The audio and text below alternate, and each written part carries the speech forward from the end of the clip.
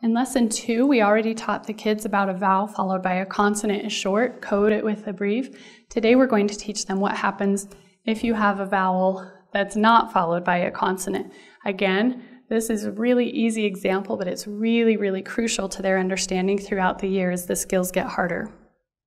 So I show them a word like no, and I tell them, this word says no, and I want you to notice that the O says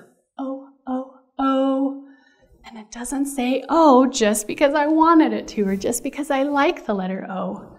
This letter O, you might notice, doesn't have anything after it.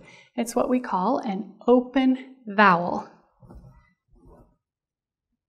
And I'm going to draw an arrow after it to show there's nothing after it. It's just an open vowel. If we have an open vowel, we code it with a macron to show that there's nothing after it and the O will say its name. Oh, oh, oh. And now the rule looks like this. An open vowel is long, code it with the macron. This V also stands for vowel, even though it's not a letter O. We're going to say the same thing.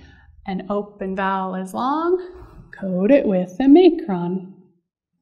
And all we're going to do is put an action with the macron because that's the most important feature. An open vowel is long, code it with the macron.